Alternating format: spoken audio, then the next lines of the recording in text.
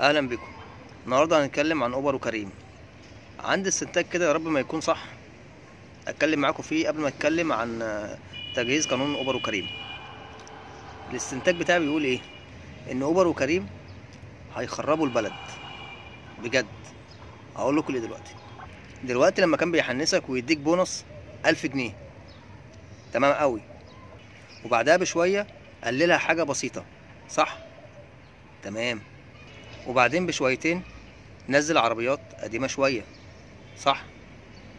وبعدين نزل سكوتر فريح الشغل شوية صح؟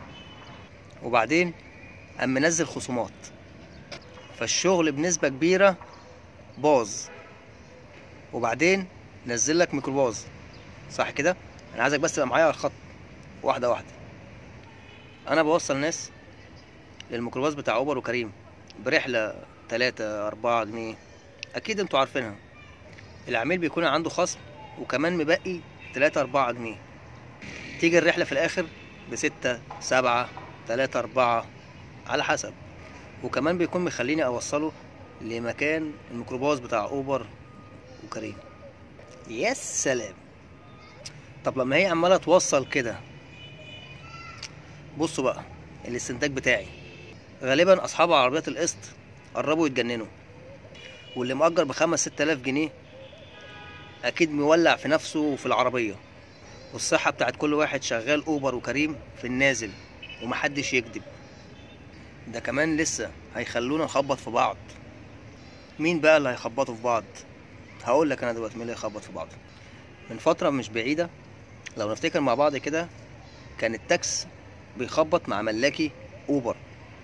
تمام؟ بالنسبة للشغل اخدوا الشغل منهم ومكانش فيه شغل في الشارع وكان التاكسي بيروح ب 30 40 جنيه وكان أوبر مولعها وهو اللي شغال والدنيا دي كلها. كمان سنة هيبقى ملاكي أوبر والتاكس على الميكروباص بتاع أوبر. وبعدها بشوية خراب يا بلد. ليه خراب يا بلد؟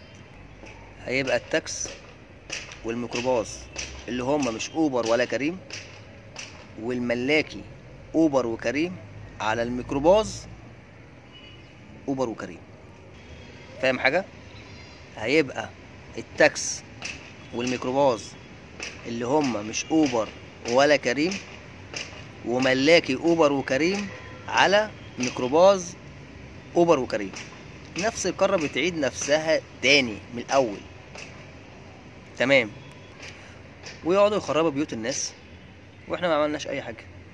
ولسه برضو هيطلع عيل أهبل أو مغفل يرد ويقول لك إيه مش عاجبك ما تشتغلش. طب نظرة صغيرة كده على تجهيزات قانون أوبر وكريم أو قانون تنظيم النقل عن طريق الأبليكيشن. من ضمن بنود اللائحة التنفيذية للقانون إضافة رسوم من 2 جنيه ل 5 جنيه. متوقع إن يدفعها الراكب بالإضافة للأجرة بتاعته. ده معناه إيه ده يا عم الحاج؟ اولا الزبون المصري بيحب الرخيص ويفضل أبو بلاش. تاني حاجة الزبون من عشرة جنيه لحد تلاتين لما هيلاقي خمسة جنيه زيادة أكيد هيرجع يفكر قبل ما يدوس على الأبليكيشن ويطلب أوبر أو كريم.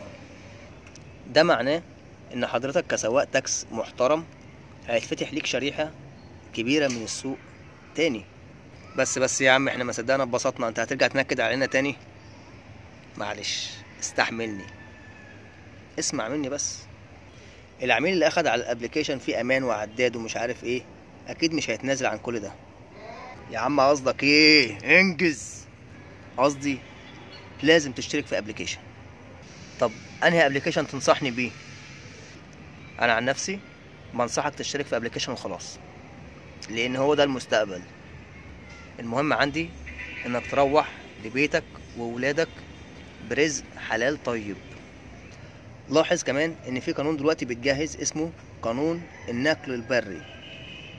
هيلزم حضرتك إنك تشترك في application وإن اللي مش هيتقدم ويرتكب شغله هيبقى زي الترام والطربوش. آثار. آثار يا معلم. وعلى فكرة الشركات كتير. وال application بقى كتير جدا. اشترك فيهم كلهم أو اشترك في اللي يعجبك. أنت حر. روح لولادك بفلوس واثبت نفسك. وكل السوق قبل السوق ما ياكلك. ما تنساش الاشتراك. like ال share إذا عجبك الفيديو. وأشوفكم إن شاء الله في فيديو جديد. السلام عليكم.